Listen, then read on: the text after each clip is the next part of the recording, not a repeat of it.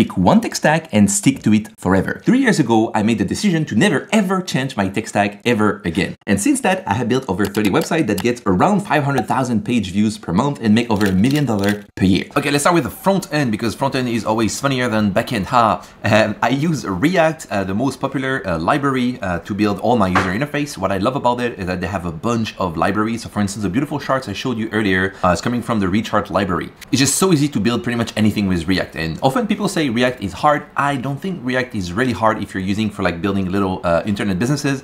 Uh, those are all the stuff I don't know how it works in React. I just use those three hooks and it works pretty well for my 30 websites. Okay, now moving on with my favorite part of uh, coding, the design and styling. Uh, I use Tailwind CSS instead of CSS. Um, and this is just so good. I don't even know why someone would use CSS. It comes with a bunch of pretty fine colors. Uh, you also have all those animation transitions, like uh, it's super easy to write Tailwind CSS. I use it for every single my website and even this little uh, game I made. On top of it, I add Daisy UI, so it's my UI component library. Be very careful here. This is where people will try to get you to uh, switch to their new trendy UI library. Don't fall for it. Stick to one UI library you like. Mine is Daisy UI. You have access to uh, all of those components and a bunch of others like toggles, form, etc. And you can also customize each of them if you want. And so, for instance, I always uh, start with the same base project, so the buttons always have a similar look, and then I would customize the colors, for instance. Uh, on this website, it's more of a gradient uh, style, but they behave the same. So there's this like a little animation, pops up animation. But under the hood, those two websites are using the exact same Daisy UI templates. And also they have over 30 themes so you can customize to um, as deep as you want. And finally, I wrap everything inside of a Next.js project and I absolutely love it. If I want to create a new page, I just create a page.js file. If I want to create a new layout that applies to all of my uh, other pages, I just create a layout.js file. It's just so easy. And then I can easily have a bunch of pages created for me. For instance, this is another of my project that gets a couple hundred pages ranked on Google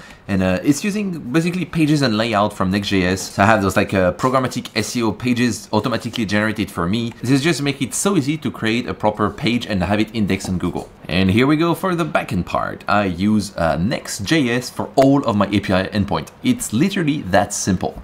I just create a route.js inside of a big API folder and uh, boom, I have a post endpoint, I have a patch endpoint, I have a delete endpoint, I have literally everything I want inside of the exact same project. I don't have to uh, bother creating a new server. I don't have to uh, maintain the server. I don't have to update my server. Uh, this is using serverless and this is just so simple. And for the database, I use MongoDB.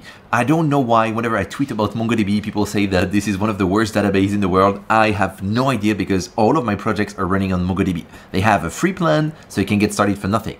They have automated backups, so I don't have to think about, you know, what if something goes wrong. And also, I forgot to uh, add the icon, but on top of MongoDB, I use Mongoose just to organize a little bit my document. So in every of my project, there is a models folder. Uh, there's one usually for the user who sign in. Uh, there is um, um, usually a model for every type of data the users can create. And inside I have just a, a bunch of keys that, uh, you know, I want to save for users, a name, email, uh, customer ID that I get from Stripe, etc., etc. And then in any API endpoint, I just do user.findById, and then I retrieve the user, I update whatever the data is. Uh, it's just so simple. And now for the hosting part, where, where is the money spent uh, in Vercel and MongoDB Atlas? For Vercel, I host uh, my frontend and my backend because once again, I'm using Next.js, so I have my API and my frontend in the same project.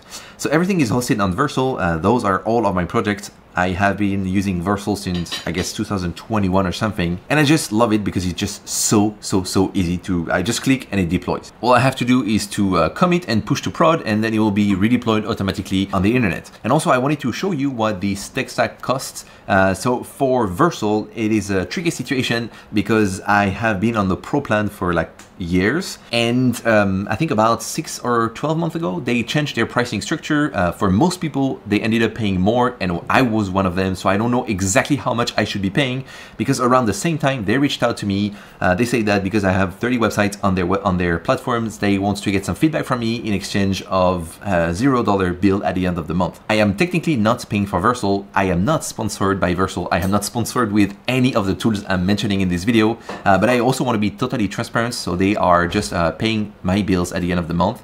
Um, if we look at January, for instance, I would have have to pay a thousand dollars for January, which is roughly 50 times more than what I used to pay at the same date last year. But at the same time, I also ship a bunch of new apps, get way more traffic, and one of them is DataFast, where uh, it's a web analytics platform, and I use Vercel API endpoints to track those events, uh, which means like if I have, let's say, 200 customers who are sending me events from 200 websites, my API endpoint is called like a multiple time per seconds, which is probably also why my Vercel bill went up. And for the database hosting, I am using MongoDB Atlas. Those are all of my project on the left side. I create one cluster per project, and then I have usually a prod database. And usually if I want to test stuff, I have like a testing database on my computer. And same for MongoDB, since I am now running like this web analytic tool, uh, my bill went up by crazy. It was uh, it was at $9 a month. At top, I was at $67 per month. And then in October, when I launched this web analytics tools, uh, my bill went crazy up. So right now I'm paying about $500 a month for the database. So 10x what I used to pay uh, at the same time last year as well. Uh, I think for this one, I can just optimize a little bit. I need to think. I just didn't have time for that. Okay, so this is like the foundation of uh, everything I built with. And then likely I will need a third-party tools for, I don't know, processing payments, user authentication, etc. Not all of those tools are used in all of my apps. So I'm going to cover each of them, how much I pay for them, and what I use them for. The first one uh, is one you're likely going to need to is Auth.js to authenticate users. Um, I use it for all of my websites. Like I have this like a page build, then I can just input my Google API key. I set up magic links and then I have an entire logging system set up. It's free, it's open source, it's working super well. Now for emails, to send transactional emails, I broke my rule of never changing my tech stack because I used to use Mailgun to send emails and I still use Mailgun for all the apps that I didn't migrate, but every new app I use now are using Resend. It's a more, I would say friendly, like it's a, uh, the user interface is much easier to use than Mailgun, but the number one reason I use them is because they don't only have transactional emails, which are email you send for like signups and stuff, but they also have marketing emails. And since I build my product in public, I need to update my power users after a week, a month about new features that I've released. And this is why I switched to Resend. And so I can create audiences of people when they sign up to my app, for instance, and then I can broadcast messages. So for instance, the other day I released a new feature, so I can just write an email with like some placeholder stuff, and I can just broadcast this email to the exact same emails of people who signed up for my product. The fact that Resend have transactional marketing emails makes my life so much easier. And billing wise, I am at $60 a month. So the, the transactional emails are pretty cheap. And then marketing, as always, it's, uh, it's higher, more expensive. And this is pretty much what I'm paying. All right, now the most expensive and also the most important part of my tech stack, Stripe. I use Stripe to process payments on all websites I create. They take about 5% cut on every payment. So uh, by the end of the year, that's 60,000 US dollars. But I guess, uh, you know, that's the, the only way to uh, get, make money on the internet. Uh, so I'm more than happy to pay that. And I mean, the software is just beautiful. I create one project every single time uh, I have a new business idea, I will create a new Stripe account. And all those Stripe accounts are owned by the same exact company, my company. I know Stripe is a little uh, tricky to, uh, to set up when you're getting started. If you want, there is a video on my channel called The Easy Way to Set Up Recurring Payments with Stripe. Um, you can check that out. All right, now moving on with the next product. And uh, this one is one product I own called DataFast. It's a web analytics uh, platform. Um, I built it for myself initially because um, all the analytics tool I find are either like very boring, like Google Analytics, which is just a complete headache, or they're more made for like developers. But since I'm on the middle between developers and entrepreneur, I wanted to have payment. I wanted to see how does the revenue connects with the traffic. So my DataFast dashboard is going to show me uh, a little bit like all the traffic and the revenue I make in the past 24 hours. And for each website, I have more information about um, you know the data, the analytics. So for instance, for this one, um, I can compare uh, what it does compared to the previous month. Um, it calculates some metrics like the, the revenue generated per visitor. Uh, this is good because then I know if I spend less than $1 um, in Facebook ads to drive traffic to this product, I am still profitable, for instance. It also connects the revenue to the visitor, so I know uh, which marketing channels bring the most money. Uh, I know which countries uh, are more profitable. I know which internet browser they're using. And also one thing I was really curious about is what do people do before making a purchase? So I've created this like a little thing here called Journey, where uh, I can see for one person what they have done before making the payment. So I can see that this person has found the website through uh, YouTube, so likely my YouTube channel. Uh, what they did during that day came back a month later, then it came back five days later, and the next day through X, so through Twitter, they probably found one of my tweets and ended up making a purchase. It helps me as a business owner understand a little bit what is going on on my site. Now what I want to do is to connect that with an AI and hopefully the AI will find patterns in what are some recurring actions that people do before purchasing a product. So I can just see what do I need to double down to make more money. Okay, next part we have AWS. I use it only when I need to make some stuff with images and videos. For instance, for these little websites, it's like a link in bio, like a portfolio builder tool. Uh, people can upload logos if they want, they can change their profile photos, etc. I put all of those images into a big S3 bucket, and then I use CloudFront to load those images fast. Then I use Upstash for uh, background tasks that are pretty long. For instance, I have this little um, uh, leaderboard where anyone can sign up and share their revenue uh, using Stripe. Um, holy, wow, this guy crossed 10 million, crazy. Here, um, for instance, for a guy like him, it would take a long, long time to fetch all the payments from his Stripe account in order to display this amount of money, and I do that using Upstash. And I also use Currency API for uh, this website here, this leaderboard, uh, because some people are making money in foreign currencies, and I want to unify that in US dollars, so like it's I can compare and like rank them uh, based on their uh, revenue. And I use the the actual the actual currency rate from Currency API. Also, I forgot to mention, these cost me maybe five or ten dollars a month, and this is a paid plan, and I think it's thirty dollars a month. I use Namecheap when I need to buy a domain name. This is my favorite place to go for just shopping, and sometimes I need to buy like a exotic domain. For instance, I have this like shipfa.st. If I want to buy .st domain names, Namecheap, Namecheap does not uh, let me do that, so I use Netim instead. Each of the domains I own cost me around $20 a year, so I guess I have maybe four or $600 a year, or maybe even more than that of domain name payments. Okay, uh, this is new in my tech stack because I didn't need that before, but recently I launched a course named CodeFast where I teach people um, how to code an entire software from scratch. And I wanted the platform to be good. I wanted to load fast.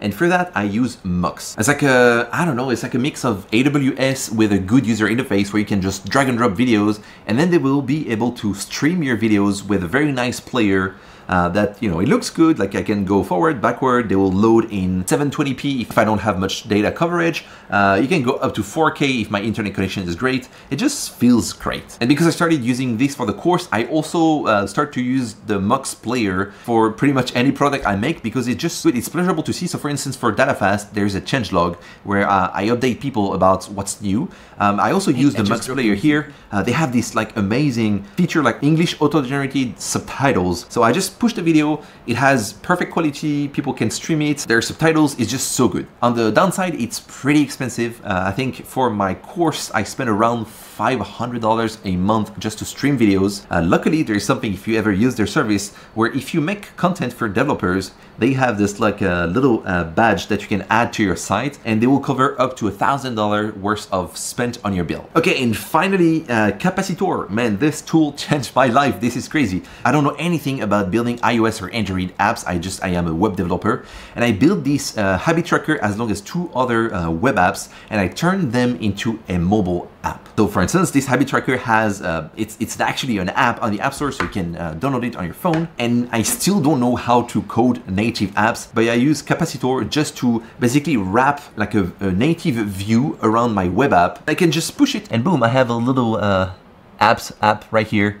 Um, that is ranked on the App Stores. And finally, we are in 2025. 80% of my code is written by an AI, so I think I need to mention uh, the AI part of my tech stack. Um, I use Cursor as a code editor, and I have a little LLM inside, so at the moment I'm using Claude 3.5 Sonnet. Uh, I use the chat heavily to create stuff. I also use the Composer sometimes when I know what I want. Uh, the AI is actually really good and really fast. It can go on the internet, it can uh, open my terminal and run some commands. But I also use Cursor AI to do a bunch of other stuff.